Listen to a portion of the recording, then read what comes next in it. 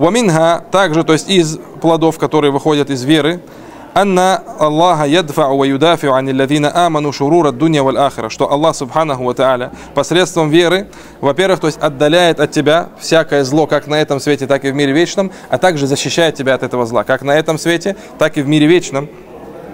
Фаядфау анхум кейда шаятин инси валь джин. И поэтому Аллах Субханаху Ва Тааля, то есть отведет от них разные козни шайтанов из числа, то есть шайтанов самих и из людей, подобных этим людям. Аллах Субханаху Ва Тааля, Валлахи инна Аллах юдафи ани ладина аману. Аллах Субхану Тааля защищает верующих людей, те, кто верует в Аллах Субхану те, кто изучают книгу Аллаха Субхану сунну посланника, алейхиссалатам, они свои песенки поют, этих людей Аллах Субхану Тааля будет то есть, защищать. Поэтому вам кажется, что какие-то то есть, напрягают, почему то есть шумит. Это все делается специально. В первую очередь это делает делает что? Шайтаны, которые то есть, внушают им это делать, и затем люди, которые являются такими же, такими же шайтанами. И когда мы все это время с вами говорили про людях, у которых нет ничего общего с исламом, вот, альхамдуля, из милости Всевышнего Аллаха Субханталя, быть может, когда это для вас это было что-то, то есть о ком-то Сирадж там говорит, и непонятно кто, а альхамдуля, что Аллах Субханталя вам показал их, какие они есть, и это только-только малая часть, малая часть того, что есть у этих людей из страшных заблуждений. Поэтому, как говорят ученые, что ничего у рафидизма общего абсолютно с исламом нет. Абсолютно. Рафидизм это одна религия, ислам это совсем, совсем другая религия, валлаху мустан. Валихада каля та'аля. Поэтому Всевышний Аллах Субханаху Ва Та'аля говорит, иннаху лейса лаху султанун аля ладина аману ва аля раббихим ятаваккалун. Шайтан не сможет ничего сделать действительно верующим людям, которые уповают на своего Господа. Которые уповают на своего Господа.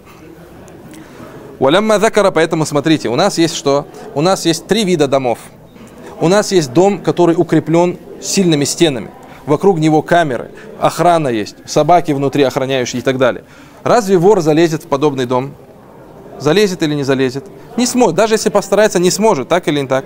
И есть у нас что? У нас есть дом обычный, среднестатистический дом, и это то, что захотел бы обворовать шайтан. Поэтому посланник алейхиссалату то есть описал шайтана таким образом, что шайтан вот к таким людям, хорошо, то есть приходит, люди, которые, то есть у них есть что-то из веры, они веруют в Аллах, субхану совершают грехи, может быть, то есть где-то упущение у них есть, может быть, не все ваджибат выполняют и так далее, обязательные вещи, предписанные Всевышним Аллахом, субхану таля.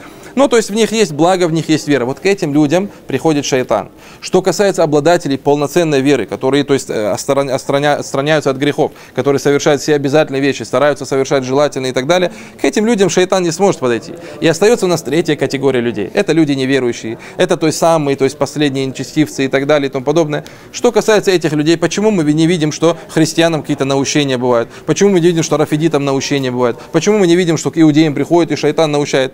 Сказал, что говорит, ясна шайтану бельбейт хариб говорит, то есть это один из э, то есть э, не хадис, это слова шейха Ислама, Аллахом, в любом случае, говорит, что зачем шайтану ветхий вот этот рухлый дом? Зачем? То есть разве воришка, который увидит руины, полезет в эти руины искать, хорошо камешки собирать? Никто не пойдет, так или не так. То есть зайдет туда, куда он примерно сможет пробраться и где он сможет хоть что-то, но себе забрать. Поэтому не, то есть полностью оснащенный всей этой техникой и так далее дом, а это верующий человек, и Бейт аль-Хариб, то есть тот дом, от которого смысла нету, ничего ты оттуда не своруешь, может быть, тухлую еду или же повешенную, крысу там в холодильнике и так далее.